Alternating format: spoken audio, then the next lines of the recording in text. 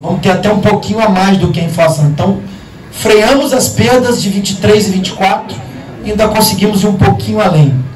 Mas por que parcelado, prefeito? Porque não é só o décimo, não é só o reajuste. E aí eu queria aqui falar de como vai ser de julho a maio. Julho, nós pagamos a primeira parcela do décimo terceiro. Então, o servidor e a prefeitura, o servidor vai receber a primeira metade desse terceiro e a prefeitura tem um desembolso mais alto em julho. Junho, desculpa, falei errado, desculpa, me corrija se eu estiver errado. Deixa eu até anotar. Que é sexta agora, inclusive, sexta-feira está na conta. Chegou o controlador do poder. Já te elogiei pra caramba aqui, você não estava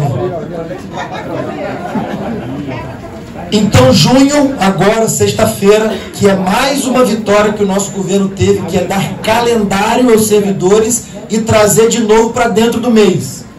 Porque vocês também vão se lembrar que sequer calendário tinha. Era assim, chegava no dia, não posso pagar. Vamos pagar semana que vem. Não era assim? Não tinha calendário tinha um calendário que não cumpria, porque chegava no dia de pagar, não tinha dinheiro, dizia que ia pagar na outra semana.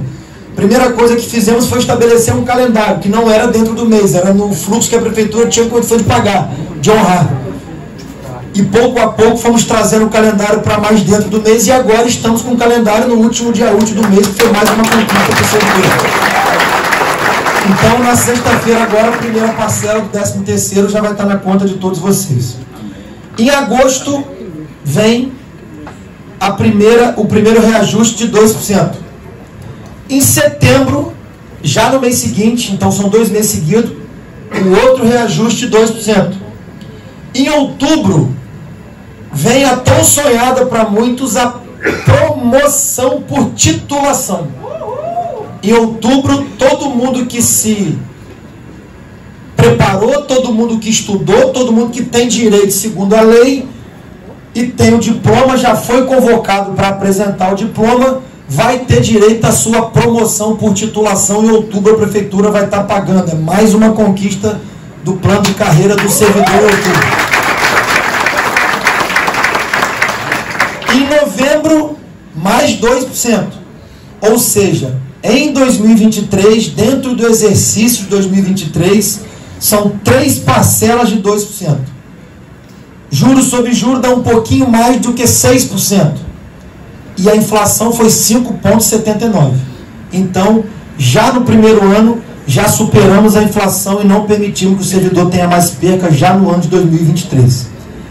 Em dezembro, segunda parcela do 13 terceiro. Janeiro, me corrija aí, vai. É isso mesmo? Tá certo. Janeiro, mais um reajuste de 2% para o servidor. Março, pula fevereiro. Março, mais 2% para o servidor. E em maio, que é a data base, são as letrinhas, a promoção horizontal do ano que vem. E seremos, gente, a partir de maio, mais duas letras e para alguns casos até três, porque teve um corte. Algumas pessoas que eram para receber duas, por cada data acabaram recebendo uma.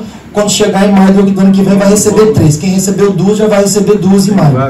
Seremos o primeiro governo, desde que o plano de carreira foi estabelecido, a colocar o plano de carreira 100% em dia. O primeiro governo dessa cidade a conseguir mais esse benefício do servidor